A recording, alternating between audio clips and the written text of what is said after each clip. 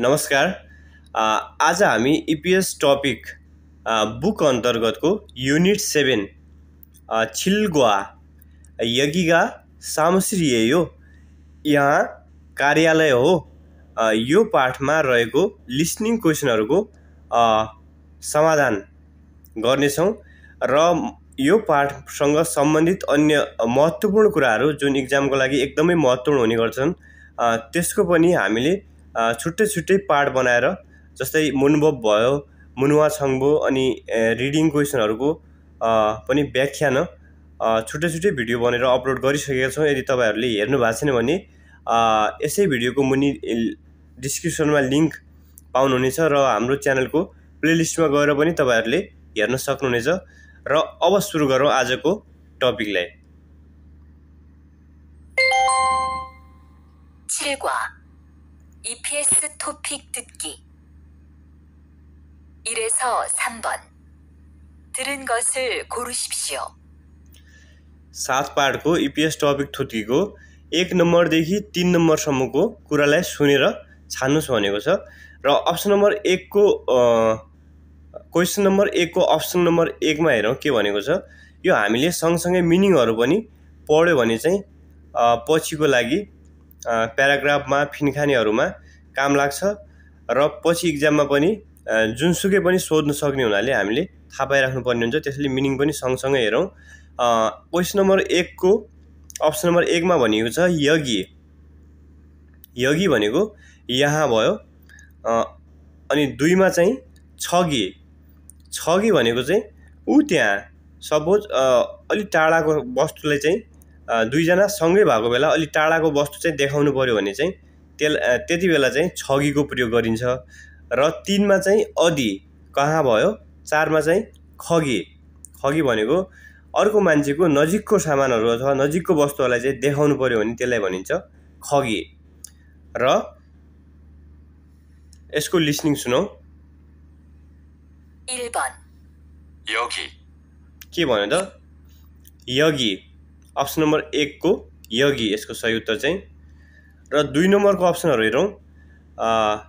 Question number दुईको option number एकमा दिएको छ होइसा।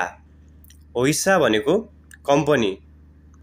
कम्पनी अनि दुई नम्बरमा चाहिँ सिकताङ। रेस्टुरेन्ट तिनको सिजाङ। बजार चारको माथु भनेको माठ भइहाल्यो सबै सामानहरू पाउने। त्यसलाई चाहिँ मार्ट भयो। र यसको लिसनिङ सुनौ।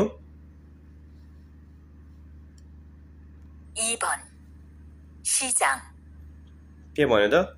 सिजाङ। अप्सन नम्बर तिनको दिएको सिजाङ। यसको सही उत्तर चाहिँ र तिन नम्बरमा दिएको अप्सनहरू हेरौँ। अप्सन नम्बर एकमा दिएको छ यल्सोय। एल्सोय भनेको चाबी। दुईमा दिएको छ खावाङ झोला। अनि तिनमा उसान छाता र चारमा चाहिँ फेगे भनेको पिलो सिरानीलाई चाहिँ फेगे भनिन्छ।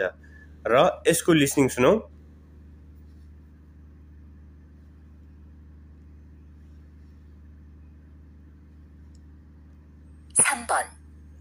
फेगे। फेगे के भनेर? अप्सन नम्बर चारमा दिएको फेगे यसको सही उत्तर चाहिँ अब अगाडि बढौँ।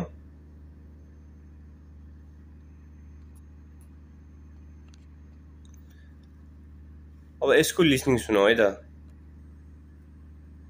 4에서 5번 다음 그림을 보고 알맞은 것을 고르십시오.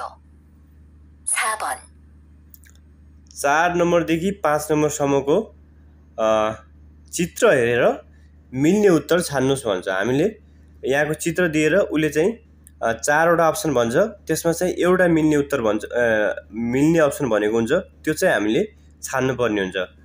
अब यसको पनि लिसनिङ सुनौ। के भन्यो त? सामुसिल सामुसिल भनेको अफिस। यो अफिसको चित्र हो त।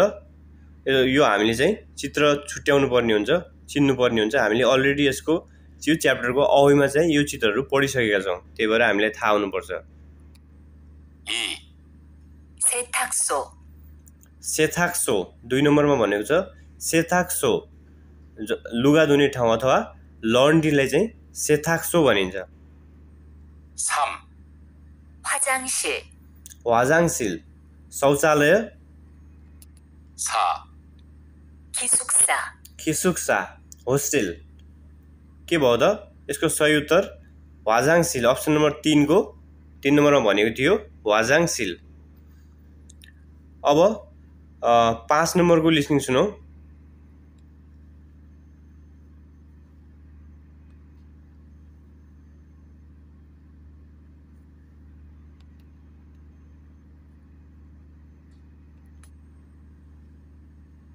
오번 2, 1. 여권, 지갑.